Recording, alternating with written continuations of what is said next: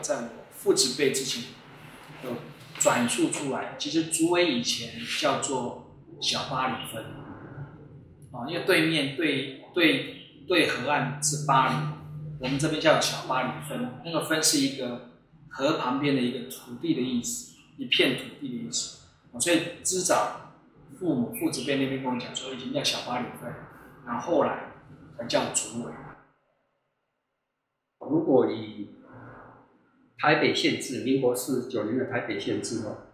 它是显示说台姓的从呃呃小巴里，从巴黎镇移居过来的台姓的那个平埔族，因为在家里种植，在家里周周围种植那个贵族，那四周种植种植贵族，所以叫做族围，这是一种说法。另外一种说法也不一定说是这个是对的。另外一种说法是说，西嘎店，就现在那个我们这里台北 GOGO，就是那个捷运站前面那个地方有一个地方叫西嘎店，那以前是竹围最热闹的地方。竹围最热闹的地方就是从那边开始发展。它那边也有四周有种竹围，有种竹林，所以当地叫做竹围。巴里镇移移居过来的平埔族，大概是一六四三年左右，他是第一批进来的。那是平埔族来这边开发，然后再过来是汉人移居的。有历史记载是，诶高家大概两百五十年左右以上，是高家来这边第一个来这边来这边定居的，然后再来姓蔡家。蔡家是济阳，高家那个叫做摩海居，那不同的堂号，然后再过来，我们刚才这里树梅山出去不是有一个郑氏古作，郑家那个是鹤，那也是一个族系来这边的，他们来开发是蛮蛮蛮久的。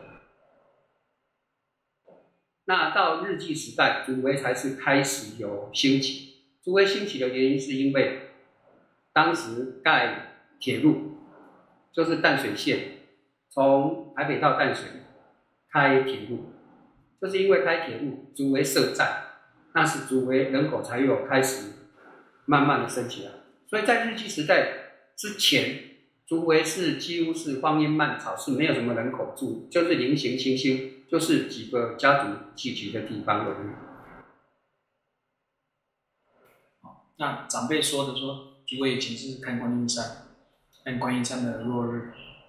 然后可以直接跟他淡水河，淡水河上的渔船，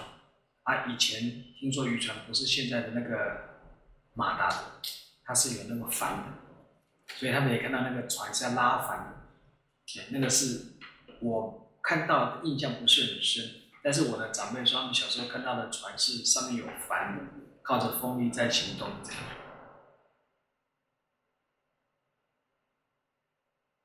那曾经淡水也是。当地居民啊，现在说八九十岁以上的老人家，小时候游泳的地方，因为那时候水很干净，他们下午会跑到淡水去游泳，然后游泳还会捡那个蛤蜊啊，捡那个蛤蜊回来煮这样子啊。这是我曾经听过父子辈的讲说，他们小时候都要去淡水游泳，要偷偷的跟偷偷跟爸妈讲，说到别的地方嘛，那他们就跑去游泳这样。以前竹围树莓坑后面都是都是那个都是山坡地，都是梯田啊，它现在都没有了。哎，也很多竹围地区，你现你现在看到竹围地区，百分之九十都是田呐，不是百分之九，百分之九十五都是田，都是田呐。我小时候看到的不如是田，围拢很惨呐。它其实竹围种稻种不起来。那因为它吸水很少，然后气候又不好，气候不好，啊种不太起。那这边的种植大概一季个五六千斤就已经，就是一甲有五六千斤就已经很不得了。可是，在中南部一甲都要上万斤了。对啊，比起来差太多了。我们这边种不出来了。我小时候有种过田啊，就是啊，就是种的很辛苦啦，但是割稻子的时候割不出来什么。以前是几个农村，有几户人家啊，晚上都有炊烟袅袅，可以看得到。天空上有露丝，白露丝啊。傍晚，傍晚从这个这个淡水河的，如果说我们面向观音山，傍晚的话是从左边飞到右边，早上的话是从右边飞到左边，啊，那他们可能就是栖息到红树林，然后白天的话是从红树林那边飞，要飞到淡水河里面，也是河岸湿地去觅食。那我小时候觉得说，都是田地。都是田，一下午再要走回家，还要走十分钟。那路上呢，可能不是走直线，是要走有角度的，因为你要顺着田埂走。到了民国大概民国四十几年，接近五十年的时候，当时，诶，北投地区现在关渡地区，那还是属于台北县。那竹围地区那时候算是比较落后，都乡下都是农田。他当时呃那个北投地区就划到台北市进去，然后很多工厂就没有办法生存，没有办法生存，就把工厂一直迁到竹围这边来。早先进来都是砖窑厂，比如说瓷砖啊，做瓷砖的啦，做瓷器的啦。以前叫做有一个现在幸福社区啊，以前叫做祁隆窑业，祁隆窑业，啊现在的。诶，你上的那个厂以前有大同瓷器，那是比较早的。以前早期来都是窑业，那接下来就是慢慢走入一个比较工业化的时代。当当时就是开始，在一九六一九六几年，民国七十一年的时候，那个没有六十一年的时候，马建业就那边设分院。那民国六十年左右，那时候就设飞鸽电子公司。那现在飞鸽电子公司就要现现在的观海集品那个位置，那是那时候飞鸽电子公司需要很大量的劳力工人，所以当时那一间公司就聘请了将近两三千人的劳力。在我印象中，二三十年前，每天从竹围上下班搭火车上下班的员工有上万人，哦，密密麻麻。以前我小时候哦。像辉哥电子公司啊，来这边上班的，哦，有从金门来的，很多都从南部来的。那我们家以前小小一个家，然后住住六十几个人，那大家都住通铺啊。啊，以前一辉哥电子公司的薪水十七块钱美金呢。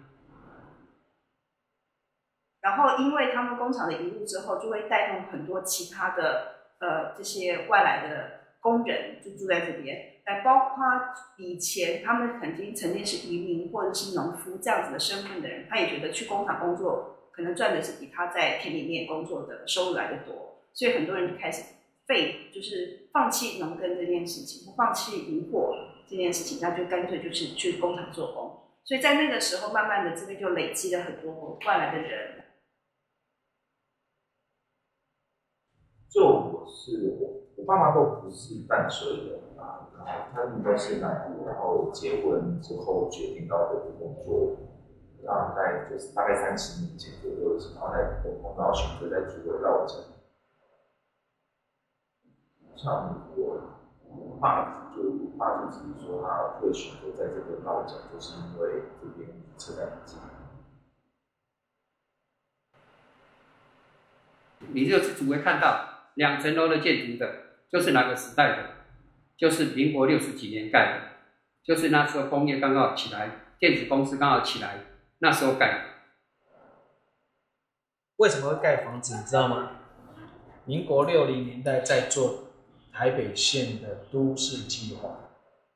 地主们跟建商就要赶快抢建，你不盖，他画下去，如果是，如果是。公共建设，或者是公共用地，或者是陆地的话，你的土地就没有用。你只要房子一盖，就变成建地。对啊，有一年土为土地一次调涨，地价涨了四十倍。你可能没有办法相信，一次涨了四十倍，地价调涨四十倍。对啊，土为的地价调涨四十倍啊，那个就是爆爆爆，突然这样爆。那个，因为土地本来是农业用地，变成转成住宅用地，过去就是一开始我们的理解，就这边大概都是以渔渔夫、农夫这样子的身份为多，所以他们的孩子当然就是从事爸爸妈妈承接下来的一个产业。然后接下来如果有土地，如果土地开发之后，家里变有钱，他就不用去种田，他就可以开始靠土地开发这件事情去做很多投资的一些工作。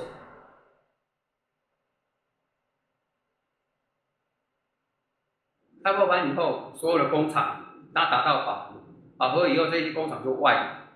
那往往哪边移呢？它往桃园新，哎，桃园那个方向移。所以这边以前竹围几乎民国七十几年，这里竹围全部都是工厂。那到了八十几年以后呢，人口就比较稳定，那时候还没有捷运。那民国七七年铁路拆掉以后，到八十六年这一段人口是成长比较慢的，但是。捷运通车完以后，那个人口成长的速度就已经非非常吓人啊！我有做过统计哦，大概有百分之七十的人口是在捷运通车的时候带进来的。啊，你如果现在看到是七层楼以上的，七层楼以上的，二十几层的，那个就是什么？捷运以后开通以后，捷运开通前后时那个时间盖的。以前竹围可能只有几百人，近千人，现在是有四个里，啊，福德、竹围、民权、民生，有四个里，将近三万人的人口在竹围地方活动。其实就是个，我觉得就是一个很大很大很大的住宅区。是我从小看到的是。一片绿油的稻田，跟几间工厂，还有排放黑烟的这个陶瓷厂之外，看到就是淡水的北北北海这个北淡线的火车跟观音山。那现在呢，在我原来居住的地方，只剩下看到观音山的最高的三分之一，其他往下都看不到，因为都被建筑新的建筑给遮盖住。那现在呢，最大的改变就是。